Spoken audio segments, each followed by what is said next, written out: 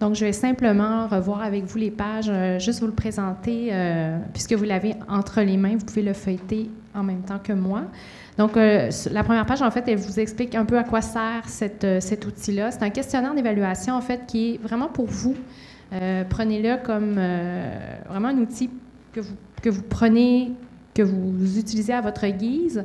on a voulu que ce soit un genre de diagnostic que vous puissiez poser sur quelle est la, quelle est la nature ou l'avancement de votre offre euh, familiale, plus proprement familiale dans votre institution. Donc, on a trouvé, euh, on a travaillé tous en équipe, évidemment, et on vous l'a fait sous forme de questionnaire. Le PDF est inscriptible, ça veut dire que vous pouvez l'enregistrer sur votre ordinateur, vous pouvez jouer dedans, euh, vous pouvez le, le, modifier, etc. Puis à ce moment-là, après, il devient un outil que vous gardez avec vous, qui devient un, un guide, euh, un, aide-mémoire euh, que vous pouvez euh, garder sous la main. Vous pouvez aussi l'imprimer et griffouiller à la main, bien sûr aussi, mais les deux, les deux façons, il y a deux façons d'utiliser finalement.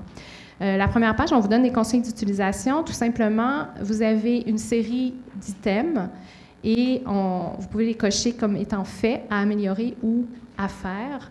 Et vous allez voir que l'outil peut paraître conséquent parce qu'il y a une dizaine de pages, mais c'est que est très, la mise en page est très aérée parce qu'on vous a laissé des places de commentaires. Donc, tous les grands encadrés où on a écrit commentaires, ils sont inscriptibles euh, sur votre ordinateur. Donc, vous pouvez vous noter toutes sortes de, choses, de choses à faire ou de choses à améliorer dans cette case-là. Et c'est pour ça qu'il y, a donc un certain nombre de pages.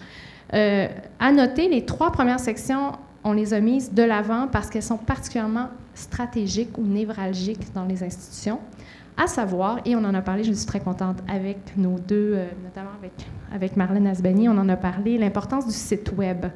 Euh, on l'a vu, plus de 70% des gens qui se déplacent vont d'abord aller voir le site Web.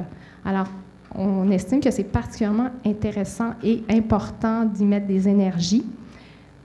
Pour vous aider à réfléchir à ça, euh, vous, avez comme des angles, si vous allez à la page 2, là, vous avez finalement euh, des items qui vous aident à réfléchir à comment on peut répondre à cette question-là, comment on peut dire est-ce que c'est fait à améliorer ou à faire.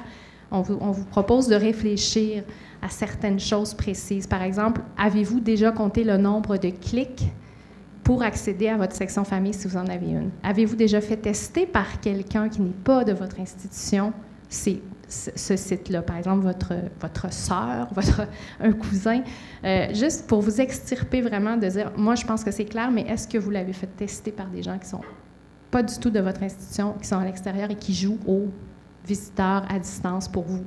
Donc, c'est le, but de ces trois premières sections-là, c'est vraiment ça, c'est de vous faire réfléchir, de vous donner des petites idées, des petites, euh, des petites phrases pour pouvoir réfléchir à, ces questions-là. Donc, c'est vraiment séparé par euh, par section. Donc, la deuxième section névralgique, c'est l'arrivée, l'accueil au musée. Je reviens encore aux statistiques qu'on a vues tout à l'heure, à savoir les amis sont les principaux, euh, pas les principaux, mais en tout cas sont des gens, des, sources d'informations importantes. Donc, si on a eu un mauvais accueil, malheureusement, on va le dire beaucoup plus euh, à beaucoup plus de gens que si on en a su un bon. Alors, l'accueil au musée est primordial. Donc, c'est pour ça qu'on vous l'a mis en deuxième dans les, dans les sections névralgiques.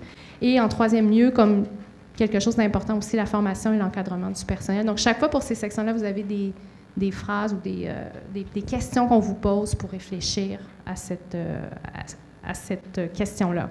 Donc, c'est vraiment par, par, euh, par section la promotion, l'extérieur du musée, les services pour la famille, dans les salles, ce qui, se passe, les expositions, activités, connaissances des publics. Donc, vous répondez à tout ça et à la, à la fin, vous avez un portrait global de votre offre euh, muséale euh, pour ce qui est des familles.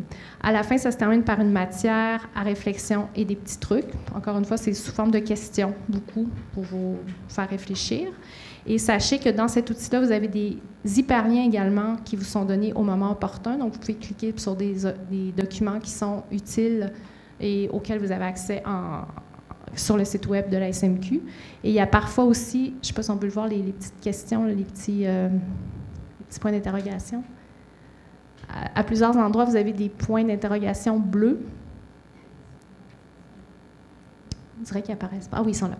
Donc, quand vous cliquez dessus, vous avez soit un hyperlien ou encore une fois, une petite phrase qui vous fait réfléchir ou qui vous, euh, qui vous permet de, de remplir ce, questionnaire d'évaluation. Voilà. Euh, donc, ce sera le mot de la fin, à moins que vous ayez des questions ou des commentaires sur cet outil qui est déjà en ligne. Ah, c'est ça, oui. Qui est déjà en ligne tout fraîchement depuis ce matin. Encore une autre primeur, finalement. Donc, euh, ben, s'il n'y a pas de questions ou de commentaires, je vous remercie, tant vous qui êtes là devant moi que vous qui êtes à distance.